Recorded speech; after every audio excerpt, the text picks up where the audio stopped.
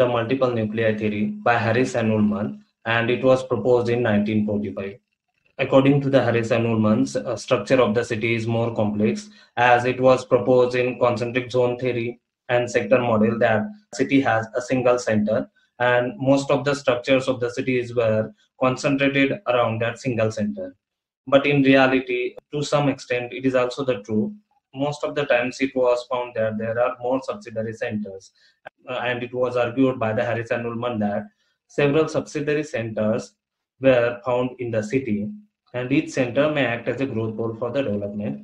And around each such a nuclei, land uses that are related or functionally linked will cluster and new subsidiary center is formed in the city. Thus, in such a way, multiple nucleated pattern in the city was created. Therefore, the entire process is the historical one. Before understanding that process, we have to know what are the factors that were responsible for the formation of the multiple nuclei or how that multiple nuclei were created in the city. So we will move towards the next slides to understand that.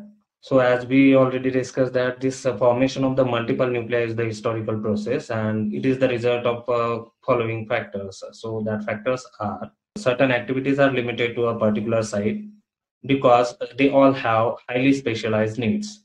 For example, a retail district needs accessibility and accessibility is uh, much better at the city center. That's why center location is best for the retail district and and manufacturing center uh, require transportation facilities. And if the efficient transportation facilities are there then manufacturing center is there. Now the next important point in the theory that certain related activities tend to cluster in the same district. And due to the close proximity they get benefit from that cohesion. Means every center is depends upon certain related activities. If that related activity is attracted towards that particular center then automatically that center will grow and act as a growth pole. So, for example, auto repair shop is there, then it was accompanied by tire and auto glass shop. Above mentioned two factors are associated with the formation of the sub-center or subsidiary centers. So these are durable activities. And when we look at the third activity, unrelated activities, uh, which is not that much favorable for the formation of a single center and uh, repelling activities are there. And that's why certain other centers are also formed rather than concentration of all of the activities at a single center. So sometimes repelling activities are also playing very important role in the formation of multiple centers.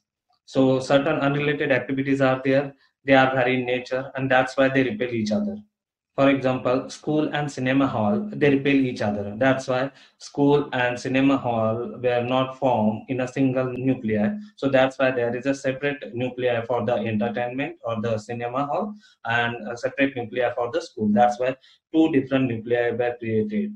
And these nuclei were created due to the different nature of the activities performed by the school and cinema hall. And even high class residence and manufacturing district they also repel each other and form two different nuclei.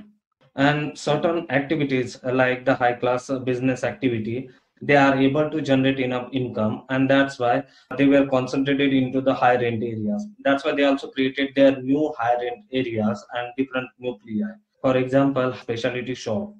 Now move towards the next slide, which define how that multiple nuclei were created and how many uh, nuclei are there and how city structure is formed around that nuclei. So according to this theory, the places that were act as a nuclei are the airports, industrial complexes, waterfronts, sports, railway station, university campus, and the hearts of the individual village centers.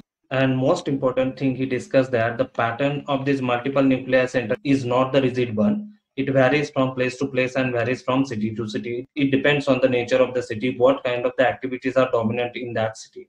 So it is also one of the important thing that multiple nuclear structure is not a rigid structure as it was explained in the concentric zone theory and sector theory that single centered city is there and rigid structure of the city is also there. But in multiple nuclei uh, he also taken into consideration that city structure is not the rigid one and it varies from city to city. And this structure is depend upon what kind of the topography is there and what is the history of that city. So uh, when we look at the zones of the theory, there, there are nine zones which were described by the Harris and Ullman. So first one is the central business district. So this is the central business district, which is the center of all the commercial, political, and social activities.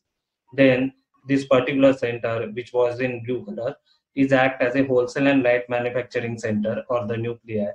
Then third one is the low class residence, low class residential area, which is near to the CBD and wholesale and light manufacturing. So automatically the workers are reside here uh, who are able to work at CBD and wholesale and light manufacturing zone. This uh, fifth one is high class residential area. Six is associated with heavy manufacturing. So automatically the new nuclei is associated with that heavy manufacturing. Heavy manufacturing area is created here because the cheap labors are available in that third zone. That's why this new nuclei is created near to that area and this seven number is the outlying business district because of the high class residential area is here then uh, this eight number is the residential suburb that residential suburb related to this uh, outlying business district area though people who control that outlying business district area they reside here in that suburb area.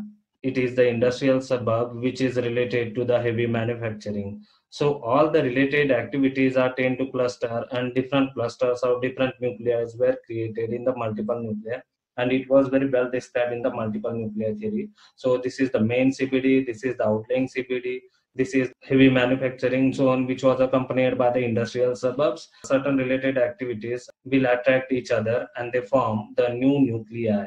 So multiple nuclei are here in this city. There are certain merits in the multiple nuclei theory. Multiple nuclei theory is not the rigid, it is flexible. That's why it is most applicable in the most of the cities in the world in developed and developing region. As compared to the concentric zone theory and the sector model it is flexible and more applicable. But uh, a few lacunas are also there and theory is criticized on that. This theory is failed to suggest any spatial order in the city. Thank you very much for watching. Thank you